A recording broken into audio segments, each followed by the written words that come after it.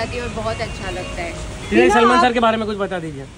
Salman sir is an amazing host मतलब Salman sir नहीं है तो आई थिंक बिग बॉस का जो रौनक है वो कभी नहीं हो पाता है। सलमान सर का बेस्ट पार्ट क्या है ना सलमान सर सुनते हैं। अगर आप कुछ कहने की कोशिश करिए अपने आप को एक्सप्लेन करने की कोशिश करिए दूसरे होस्ट नहीं सुनते आपकी बातें। बट सलमान सर आपको वो मौका देते और मतलब बोलने का मौका देते सुनने समझने का मौका देते।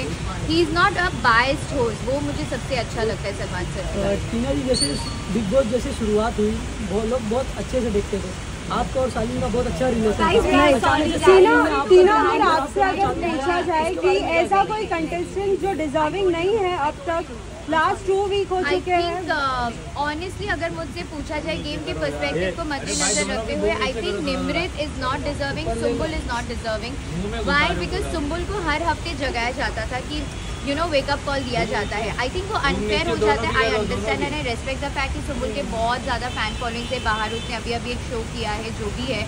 बट अगर ये तो वही बात हो गई ना कि आपके फ़ैन फॉलोइंग्स बाहर बहुत तगड़ा है तो आप अंदर जाके चिल कर सकते हो और कुछ भी ना करो, आप टॉप तक फिनाले तक या टॉप फाइव तक पहुँच जाइए।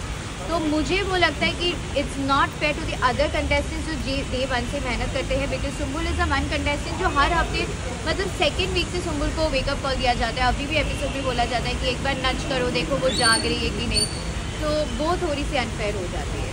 तो कहीं ना कहीं आप ये कहना चाहते कि आपके फैंस ने आपको इतने वोट नहीं दिए हैं।